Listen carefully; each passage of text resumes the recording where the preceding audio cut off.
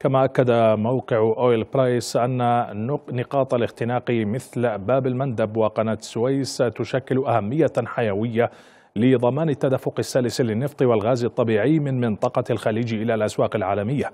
وشدد الموقع أن أي تعطيل لهذه الطرق البحرية الضيقة ولو لفترة قصيرة من شأنه أن يؤدي إلى تأثيرات متتالية على العرض والتكاليف إلى جانب تسببه بزعزعة استقرار أسعار الطاقة في جميع أنحاء العالم.